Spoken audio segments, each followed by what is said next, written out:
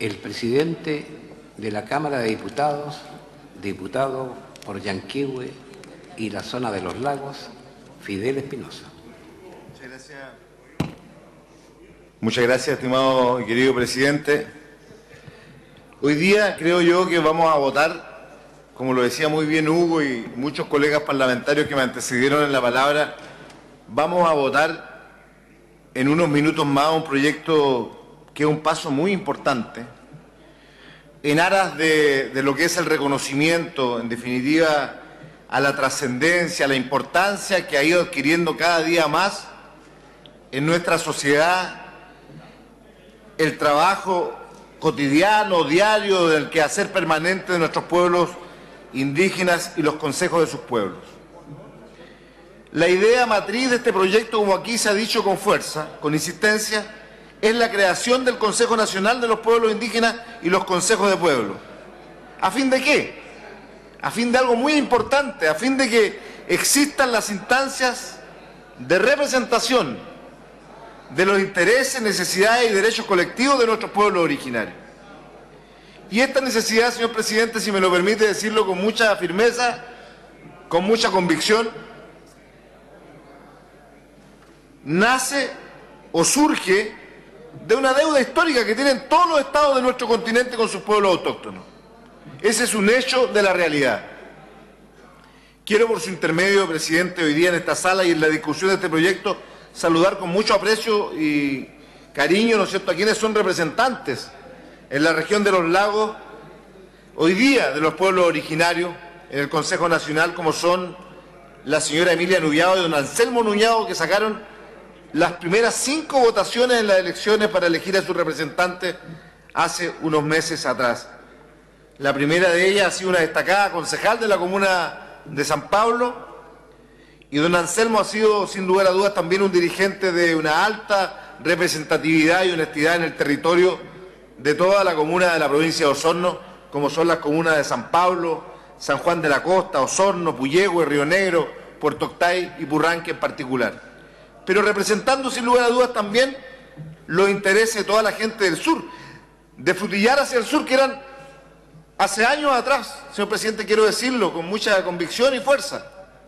Antes se hablaba de pueblos originarios solo hasta la provincia de Osorno, hasta que comenzaron a surgir también comunidades y pueblos indígenas en Fresia, en Los Muermos, en Frutillar, en Puerto Vara, en Calbuco mismo, Puerto Montt, y en muchas otras comunas de la isla grande de, Chiloé. Porque nuestros pueblos originarios en la región de los lagos han sido por largo tiempo pueblos que han dedicado su vida al desarrollo de su actividad productiva campesina, generalmente ligada a la agricultura familiar campesina, y son pueblos y dirigentes. Todos nuestros pueblos y dirigentes de comunidades indígenas de la región de los lagos son personas absolutamente pacíficas y tranquilas como muchas otras a lo largo del país, que tienen como norte esencial pretender luchar para darle una mejor calidad de vida a su gente. Y digo este comentario en el marco de la discusión de este proyecto, que vamos a aprobar como bancada del Partido Socialista y la vamos a apoyar con nuestro voto de manera unánime.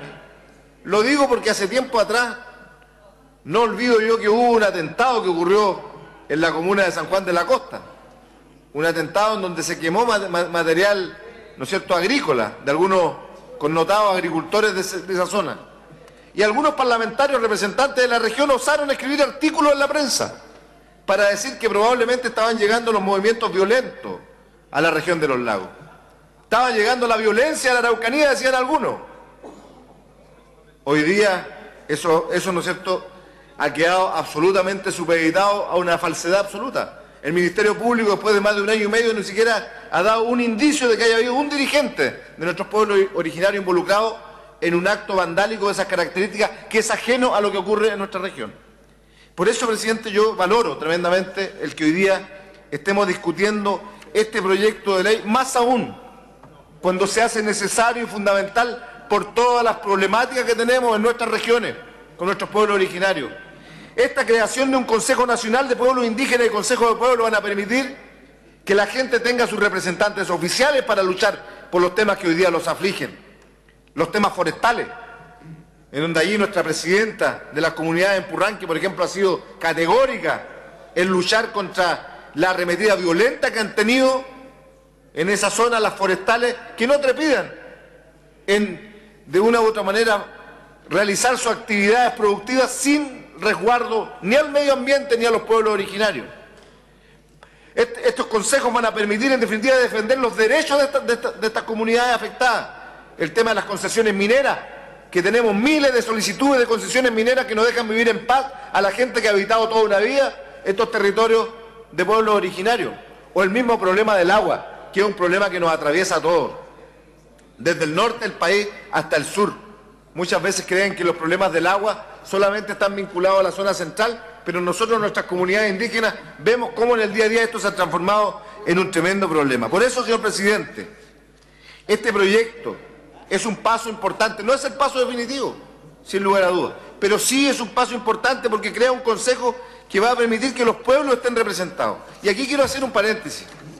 Aquí quiero hacer un paréntesis con todo el respeto que me merece la gran mayoría de nuestros dirigentes de pueblos originarios y nuestros loncos. También hay algunos que se atribuyen la categoría de lonco y no representan a nadie. Y cada vez que aparece una autoridad, cada vez que aparece un candidato a presidente de la República, o cada vez que aparece un presidente de la República, son los que llegan, ¿no es cierto?, a alguna actividad pidiendo ser ellos los representantes de todos los pueblos originarios, y no lo ha elegido nadie por presidente.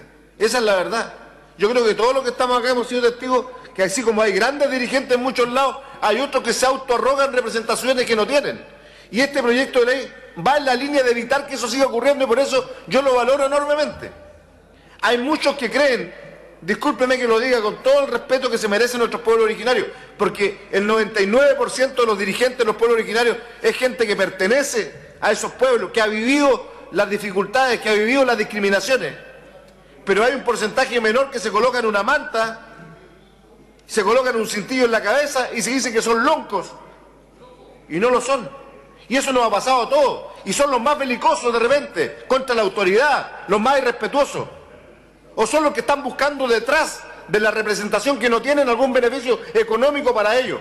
Y este proyecto de ley creo que va en la línea también de evitar que eso siga ocurriendo para que sean los representantes los verdaderos, los que representan a las comunidades, los que tienen atrás de ellos a gente que los ha apoyado, que los respalda y que los representa. Ese es el tema de fondo. Hay algunos en mi región, lo digo con toda honestidad, que durante toda una vida fueron dirigentes pesqueros y hoy día son loncos. No hay ninguna incompatibilidad en ser una cosa y otra. Pero fue cuando ya en la pesca no tuvieron ni un, ni un espacio más, se trasladaron a otro rango de representación. Y discúlpeme que lo diga con esa franqueza, ese tipo de situaciones hoy día nos ocurren. Y este proyecto de ley que crea el Consejo, ¿no es cierto?, el Consejo, en definitiva, Nacional de los Pueblos Indígenas y los consejos de pueblo, va en la línea justamente contraria de evitar que esto siga ocurriendo. No puedo terminar mi intervención, señor presidente, sin hacer mención a lo que decía Hugo Gutiérrez en sus palabras finales. Podemos aprobar un montón una serie importante de proyectos que vayan en la línea de seguir fortaleciendo el tema de nuestros pueblos, de nuestros pueblos originarios. Pero Chile y nuestro Estado tienen una deuda más grande aún. Y esa deuda más grande aún no la, no la hemos podido saldar aquí en este Parlamento, que es el reconocimiento constitucional definitivo a nuestros pueblos originarios.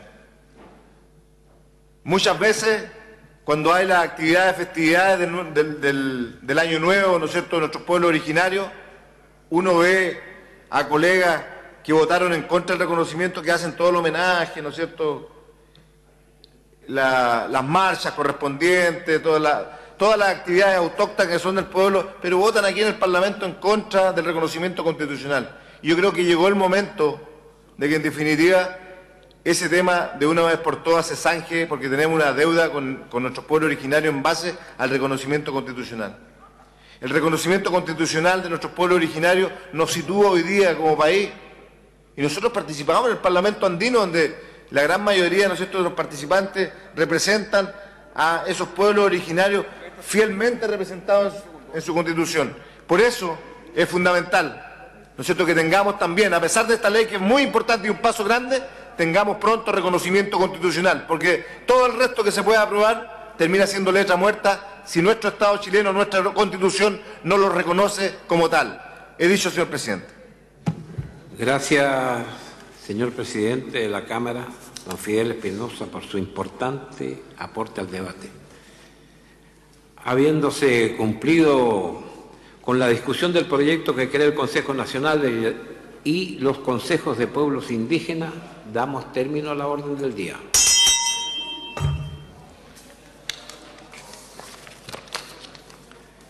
Entrando en el tiempo de acuerdos